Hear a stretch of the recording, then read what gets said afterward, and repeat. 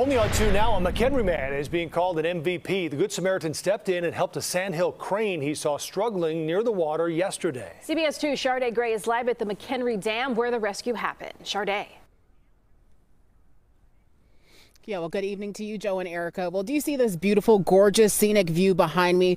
This is where a man stepped in and helped a crane that was stuck in a fishing line.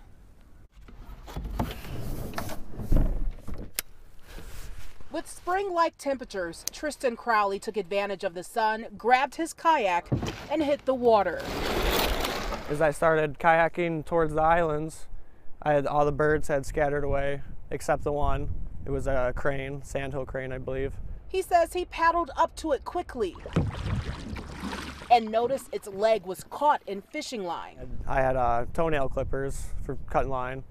And then I had cut the line off it, and then it had uh, flown away. As soon as he got back to shore, everybody was telling me, "Good job!" You know, there's a bunch of people on the shore here. They're like, "Good job," and I was thumbs upping them, and yeah, I just kept trying to fish. I didn't catch anything, but that was my good deed for the day. That good deed was caught on camera. A wildlife photographer, David Jacobson, snapped these pictures of Crowley in the moment. I didn't even uh, see the picture. That's awesome. Yeah. I'm glad that he got that. This isn't the first time he's saved a crane. I, have saved one crane before on my lake. I live on Island Lake.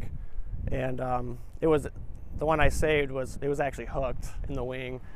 I had to like cover it with a blanket. Now, Crowley says he hopes that others will step in and help animals that are in distress. And let me put an emphasis on that. He hopes that they do that safely. Reporting live in McHenry, Shardaa Gray, CBS 2 News. Was great. That was. And those images, incredible. Bravo yeah. to him. Thank you, Shardaa. I'm glad the crane let him help, you know, because yeah. you think they might get spooked and try to fly away right. and make things worse. But that's a great story and a great outcome.